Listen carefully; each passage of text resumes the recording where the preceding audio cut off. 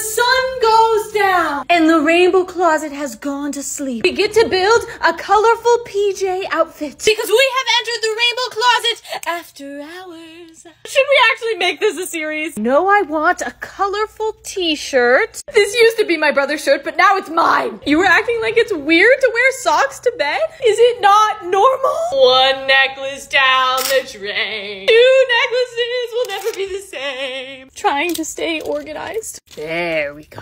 Definitely need like a sweatshirt. Why does this hoodie have to be red? It's so cute though, so we'll forgive it. Outfit is ready. I'm also very excited to come wash my makeup off with my SpongeBob little towels. Anyways, here is the final PJ outfit. I'm feeling very cute and comfortable. Okay, I gotta go get ready for bed. Bye.